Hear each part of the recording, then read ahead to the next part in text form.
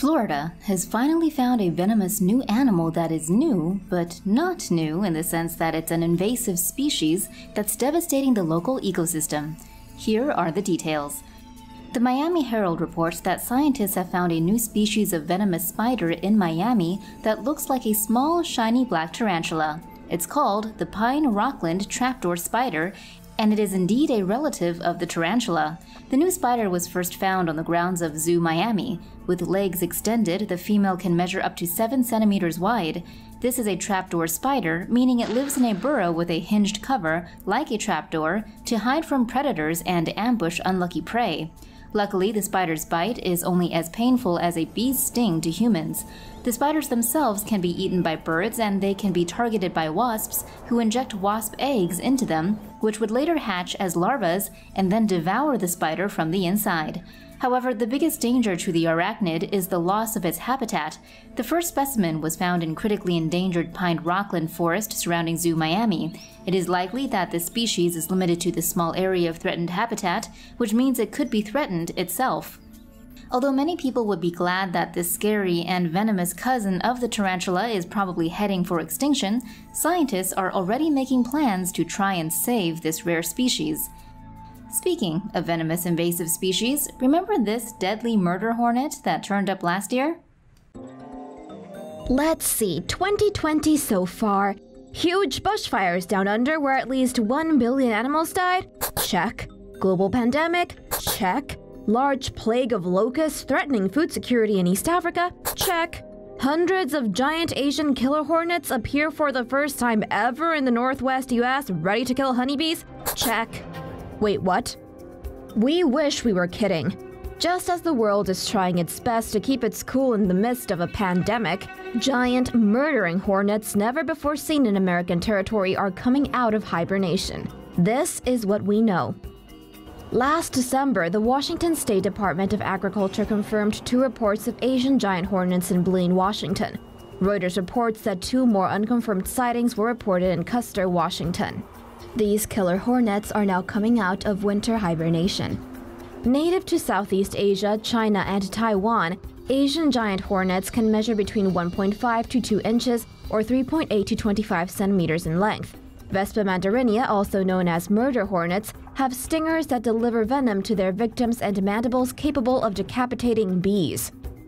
According to the WSU Insider, the Asian giant hornet queen wakes from hibernation in April, finds nourishment, and then looks for a place to establish a colony that will later go out to bring back food.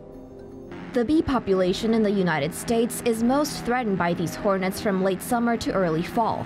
While they hunt for food for their next queens, the hornets will decapitate honeybees and eat the bees' larvae and pupae. Well, you might be thinking, isn't this just nature? The circle of life, so to speak? Nope, not really. First off, we don't know how these hornets made it to the US, but they have never been found in the country before, so this new species is an invader and definitely a threat to beekeepers. Still not feeling this pertains to you? A threat to bees means a threat to human food production.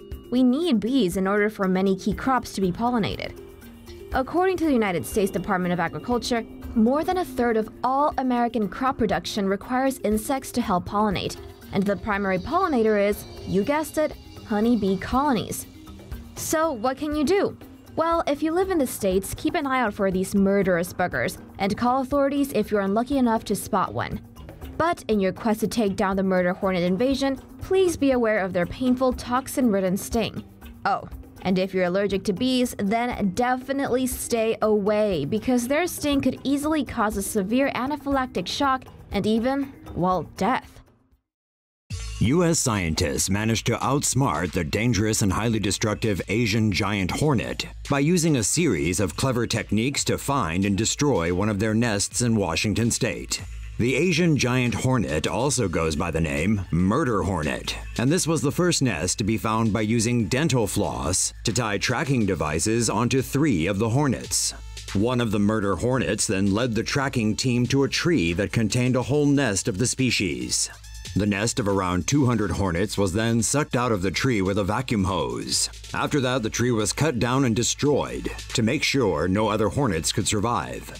The invasive murder hornet has a powerful sting and can spit venom. They target honeybees, which pollinate crops, and can destroy a colony of honeybees in just a matter of hours. Asian giant hornets are among the world's largest wasps.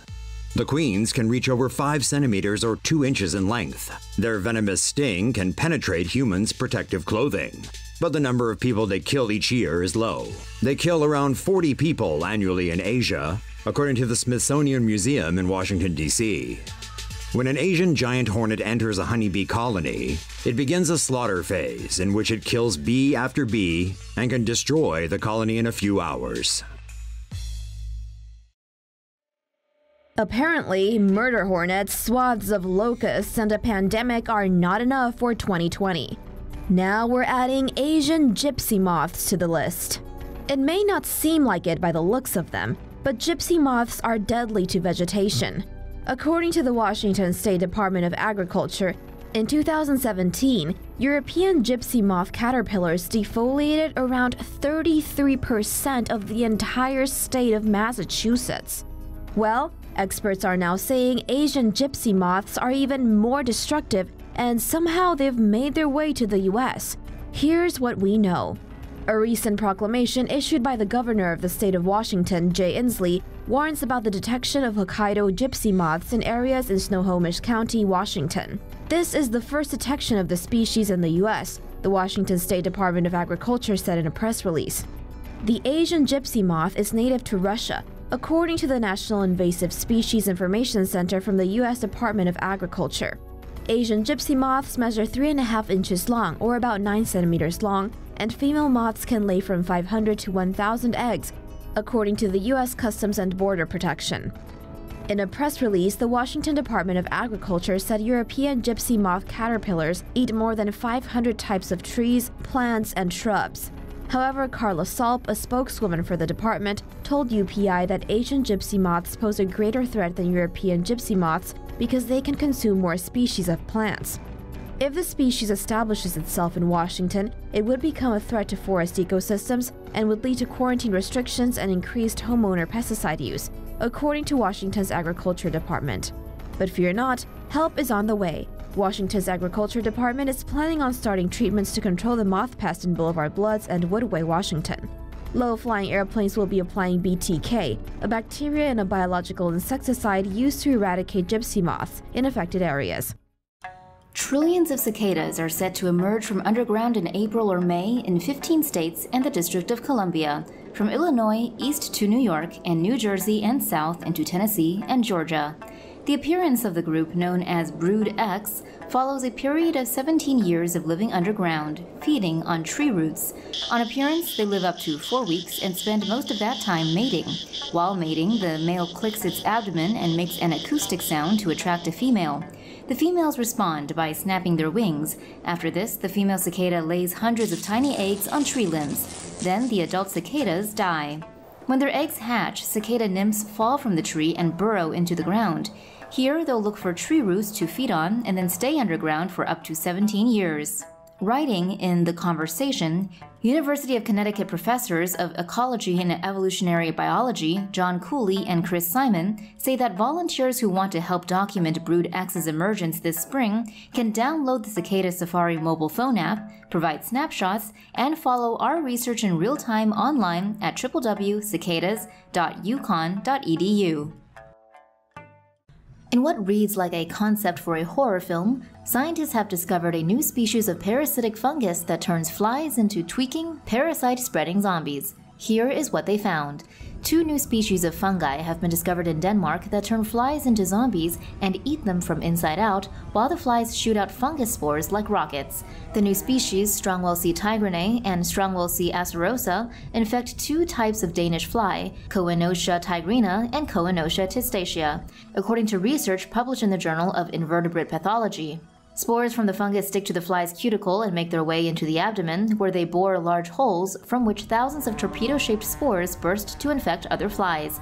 The fly goes on to live for several days while the fungus devours its genitals, fat reserves, reproductive organs, and lastly, its muscle. During this time, the fly continues to interact with and spread spores to other victims, although researchers say the fungus only infects between 3% and 5% of flies in a healthy population. Researchers from the Natural History Museum of Denmark and the University of Copenhagen's Department of Plant and Environmental Sciences suspect the two fungi may produce substances like amphetamines. These chemicals keep their hosts alive and energized until there is nothing left in its abdomen but fungus. Why is this disgusting new discovery important? Researchers believe the amphetamine like chemicals that keep the flies invigorated also keep other microorganisms away from the fly's wounds, and this could lead to health benefits for humans. Speaking to The Guardian, University of Copenhagen ecologist Jürgen Eilenberg said, We would definitely like to continue our research, as doing so has the potential to discover and later make use of these substances, perhaps in medicine. Researchers have discovered a Godzilla wasp that deliberately dives underwater to insert parasitic eggs into its prey. Here is what they found. Only a few species of wasps enter water, but a previously unknown species has been discovered in Japan that not only enters water, but dives underwater to search for and attack its prey. The parasitoid wasp was dubbed Microgaster godzilla because of the Godzilla like way in which it emerges from the water.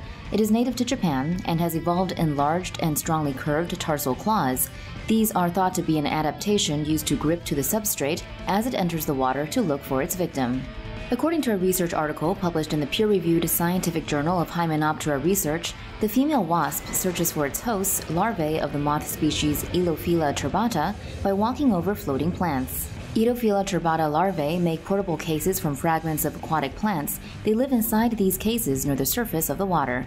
Once the wasp finds its host, it probes it with its antenna and eventually forces it out of its case. Sometimes it has to dive completely underwater to evict the caterpillar.